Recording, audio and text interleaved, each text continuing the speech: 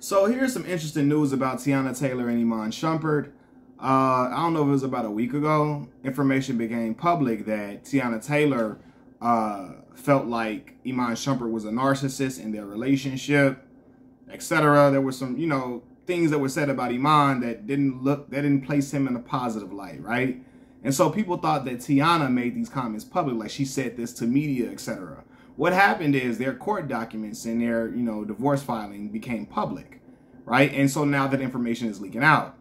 Now that information is leaking out because uh, Teyana Taylor says that Iman made it public. He made that he he requested that their names be made public. At first, when they filed for divorce, Teyana Taylor they, and she allegedly filed for divorce in January. She Teyana Taylor says she wanted the documents to show only their initials, to keep everything private, for to respect her family, to respect, you know, the children, etc. Everybody in that in that ham, in that household, right? And so Iman Shumpert then he went back and told requested that the initials be replaced with their actual with their full names. You know, when the new and then that the news of the divorce went public and then their full names are on these court documents. So now it's open and people can see what they're talking about, right? And now the information is leaking on the Breakfast Club, there was a segment this morning, and people and Envy and Envy and uh, Charlemagne are like, why would he make that public? And I forgot what's the other young lady's name. I think her name was Ivy, I believe. Y'all can correct me if I'm wrong. She was on the Breakfast Club this morning on the clip that I saw.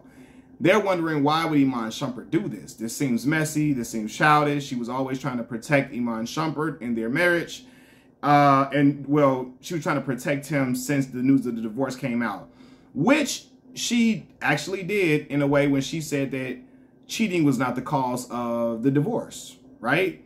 And because people was speculating that Iman was cheating, etc., etc. She's like, no, that's not it. That's not it.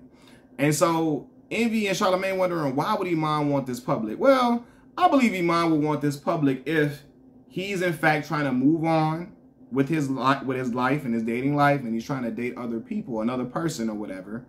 He doesn't want it to look like he's out cheating when he's with a woman, right? So if everything is kept private, I guess maybe he felt like the blogs will say he's a cheater, he's a cheater, he's a cheater. It will make him look bad, and then whoever the woman he's seen with look bad. She'll be looked at as like a, a home wrecker if you know nobody knows about their divorce, if it's not publicized or whatever. If people don't know about it, she's gonna look at be looked at as a home wrecker, which will damage her image and all of that and make him look crazy as well.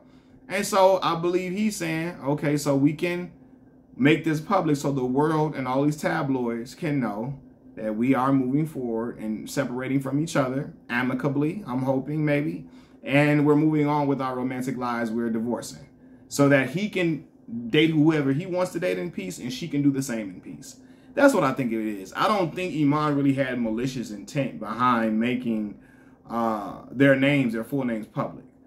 You may not feel like like that was the right thing to do. Some people may feel like it's too soon for him to be trying to date if that's the reason why he wanted the names to be public. I don't know. I'm just speculating why he possibly would, would be wanting their names to be public on these court documents showing divorce. And I'm thinking it's because if he wants to move on with dating, he doesn't look like he's a cheater. The woman he look he's with doesn't look like a homewrecker, etc. You know, but yeah, that's just me. Maybe maybe y'all feel like he's making it public for some other reason, but I don't think Iman would do that. But some people would say if she's calling him a narcissist, a narcissist in court documents, maybe he's doing it to I don't know to to out out that they're uh, divorced or trying to do it with some type of malicious intent. Who knows? I don't think it's coming from that side though. Me personally, right? Um, but I will say this because people are speculating why, because they looked happy, etc. Why would what happened for them to get a divorce? Who knows? You know, you never know what happens in people's households and people's love lives. You just never know, right? However, I think I heard about them. I don't know if this is true, so this is all speculation for me. But I think I heard about them like basically trying to like um, they were like dating well, they were doing like threesomes or whatever, right? Inviting other people into their bedroom. And I always caution people. I think that is just a road to turmoil when you are married with your wife and you out here having threesomes. Now, again, to each his own. People gonna do what they want to do. They gonna live the life they want to live, and you do what's best for y'all marriage. I'm not married, so I what do I know, right? But I said, you know, upon marriage, or even when I'm in a long term relationship with a woman, I'm not having no threesomes because I think that can open Pandora's box. Your girl start liking the other girl. They start meeting outside of y'all and all type of stuff. You mess around and start liking the other woman more than you liking your wife and then the woman start noticing it when y'all having these sexual enc uh, encounters with each other. Somehow, some way, stuff just start getting crazy. Stuff start happening. You just never know. And I feel like some of those Pandora, some of those doors should not be open. Leave that alone in its entirety. And I don't know, man. Like my, my homie used to always say he felt like Teyana had an energy in her, like she really liked girls. And I think she's into girls, which is why, of course, why they were doing that, right? And I don't know. It just yeah, I don't know. I just it's certain things that I just would never be opening up to or be open to in marriage. Cause I just think some stuff causes some sexual confusion. And I think sometimes brothers be so openly ready to share their woman with another person or to, to just spice up their life. Or even if it's a girl, people some men are cool with it being another woman, not another uh, another guy, but I don't know. Even when it's another woman, I feel like you opening something, a, a door that could be a little, call it can cause some confusion and cause some haziness, right? And so I think some of that should be left alone because who knows? I don't know. Cause my homie always felt like Teyana might have really wanted to be with a woman the whole time. He felt like that, right? And I think he feel he felt like she got a little energy that's a little bit masculine. I don't know Teyana. I ain't really paid attention to her all the way through and through to really know about that. But I do remember when she was young, and the girls go through those time go through those tomboy phases. Cause I remember I first saw her on Sweet 16, seemed like a tomboy type of girl, whatever, whatever. I honestly didn't know.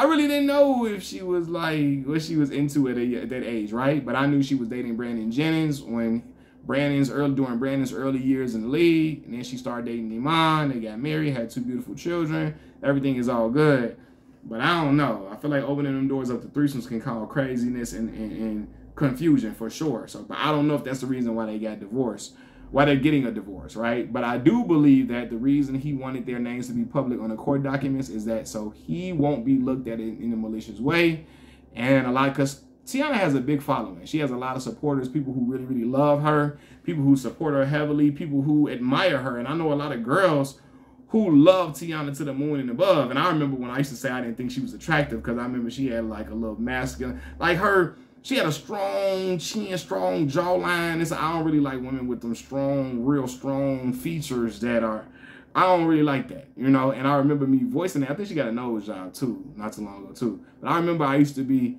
voicing how I didn't really find her attractive, and women would be jumping down my throat, like coming at me. What you don't like Teyana Taylor? She's a gorgeous. She's beautiful. She's gorgeous. She's gorgeous. She is gorgeous. And I'd be like, to each his own. I ain't really, I'm not really into Teyana like that. I never have been. You know what I mean? So um, that was just me. But I saw how many women would come to protect her when I said that, and I didn't even say it with malicious intent.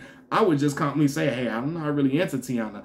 and people would look at me like I was crazy, like I was out of my mind, right? And so I think he sees the support that his wife gets. He sees, I think, the support he's gotten from being Teyana Taylor's husband. I feel like Iman has gotten more popular and more famous for being her husband more than his playing career, truthfully, right? And I think he knows how much she's loved and adored and admired and respected and you know and he don't want to look crazy if he out here caught in the street with another woman but he look like iman the cheater i knew it i knew it i knew it that's what i think it's about man Mackaveli Millz tv i'm out peace